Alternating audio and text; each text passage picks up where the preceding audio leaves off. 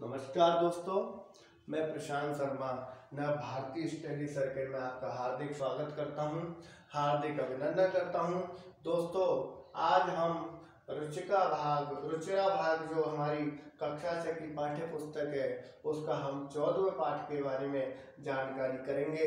कि इसके बारे में क्या है? आह आ च यानी कि कष्टदायक जो है, वो इस पाठ में बताया गया है। ठीक है ना? और इसमें कह रहा है कि अज़ीज़ सरला परिश्रमी च आसीत। है ना? अज़ीज़ नाम का जो लड़का है, वो सरल और क्या है? परिश्रमी है। ठीक है ना? अज़ीज़ नाम का जो लड़का है, वो सरल और परिश्रमी है। स स्वामीन एव सेवाया लीन आशीत और वह जो है, वो क्या कर रहा है? स्वामी की सेवाओं में क्या है? लीन है, बहुत ही लीन हो रहा है। ठीक है दोस्तों? यानी कि जो अज़ीज़ नाम का जो लड़का है, वो सरल स्वभाव का और बहुत ही परिश्रमी है। और स्वामी की सेवा में क्या हो रहा है, वो लीन हो रहा है। एकदा स ग्रहम गंतुम अवकाशम पंचती और एक बार क्या है उसने अपने गृह के लिए अवकाश को है, वो मांगा। स्वामी चतुर आशीत स्वामी क्या था? बहुत चतुर था। सह चिंतयति अजीत एवं को अपनी अन्य कार्य कुशलम यानी कि जो वो है, वो क्या कह रहा है? कि वो बहुत ही चिंता कर रहा था।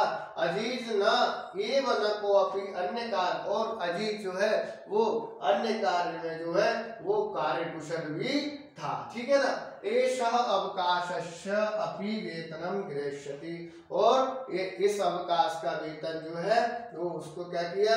गृहिष्यति यानी दे दिया। एव चिंतित्वा स्वामी कथ्यति। और ऐसा जो है चिंता करके, वो स्वामी जो है, वो कह रहा है अहम तुभ्यम अवकाश वेतन न चरवा धर्म और हम तुम्हारे अवकाश में जो है, वो वेतन जो है, वो सभी जो धन है, वो तुम्हें दे देंगे। ठीक है ना दोस्तों? इसके बाद परम एक दर्शन वस्तु देव आनम अहम आहा चाहती यानी कि परम परम जो एक अर्थ जो है, जो वस्तु जो आने हैं, उसको अहम चाहती और अह आ करके वो जो है, वो बहुत ही दुखी हो गया। ठीक है दोस्तों, आगे हम देखते हैं।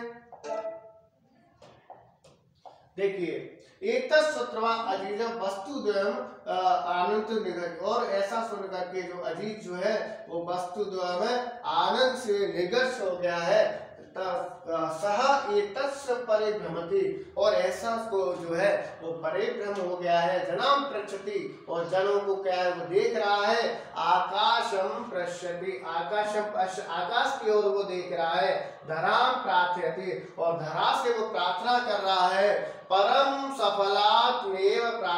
होती चिंता और परम सफलता के लिए वो चिंता कर रहा है, जब सफलता प्राप्त हो जाए, परिश्रम से धना सनेव। और परिश्रम से ही जो क्या है, वो धन प्राप्त हो रहा है। कुत्रचित एका वृद्धा मिलती, और कहीं पर उसे क्या हुआ, एक जो है वो वृद्ध मिलता है। ठीक है ना दोस्तों? सर्वा सह सर्वा स ताम सर्वा श्राव्यति और उसने वहाँ पर जो है, अज़ीज़ ने जो है, वो सभी जो व्यथा है, उसको उसको सुनाया है, वृद्ध को सुनाया है। सा विचारयति। और वो विचार कर रहा है कि स्वामी अजीजाय धर्म दातु न इच्छति। और स्वामी, वो के विचार कर रहा है कि स्वामी की जो इच्छा है, वो अज़ीज़ के धन को देने की नहीं है। अहम तुभ्यम वास्तुदेव ददामी। और हम जो है, वो तुमको वस्तु देव वस्तु दे देते हैं, है? परम दिव्यम एक बहुमूल्य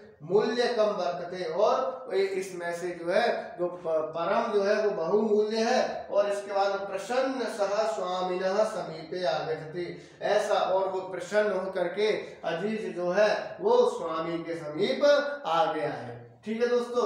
यानी कि यहाँ पर ये जो कह रहे हैं कि अज़ीज़ का जो स्वामी है, वो बहुत ही जो है, वो कठोर है और वो अज़ीज़ को जो है, एक अवकाश मिलने पर उसके पैसों को काट लेता है, उसको पैसे नहीं देता है। तो अज़ीज़ क्या होता है? वो दुखी हो जाता है। दुखी होकर के अपने वो मन को बहुत ही दिखाता है। ठीक है दोस्तों? आगे देखते हैं इसमें। देखिए अजीजम दृष्टवा स्वामी चकितम भवंती और अज़ीज़ को देख करके स्वामी जो है वो चकित हो गया है। स्वामी शने शने पेट का मुदगाड़ी स्वामी धीरे धीरे जो है पेट का जो है उसको खोलता है। पेट का है लघु पात्रम और पेट का में जैसे क्या है, दो छोटे पात्र थे। प्रथमम स एकम लघु पात्रम और पहले एक जो छोटे पात्र को जो है वो खोलता है। सहसा एका मधु मच्छिका और उसमें मधु मक्खी जो है वो निकलती है। तस्य हस्त दर्शती और उसको वो हाथ में लेकर के दिखाता है, स्वामी उच्च बदती, स्वामी कष्ट होता है। जब मधुमक्खी काट लेती है तो कष्ट होता है। द्वितीय लघु पात्र और उसने फिर क्या किया? दूसरा जो लघु पात्र था, उसको खोला। एक अन्य मक्ष गाने। और एक और उसमें से जो मक्खी है, वो निकलती है। स ललाट और वह उसके ललाट पे डस जाती है, है? ची और वो बहुत ही ज़्यादा उसमें क्या करता है? चीखता है। अज़ीज़ है सफलम आसिक और अजीत जो है, जो सफल हो जाता है, स्वामी तस्में अवकाशाय वेतन से पूर्णम धनम ददाते। और वो कहता है कि स्वामी, अवकाश का जो वेतन है, उसको मिला करके मुझे पूरा वेतन दीजिए। ठीक है? इसमें हमें जो है वो उसका जो स्वामी है, वो उसमें मतलब उसको धन अवकाश का जो धन है, उसको नहीं देता है। हमें इससे एक शिक्षा मिलती है। हमें सभी के साथ जिस प्रकार का व्यवहार जो होता है, उसके साथ वैसा ही व्यवहार हमें करना चाहिए। ठीक है दोस्तों? आज के लिए इतना ही। धन्यवाद।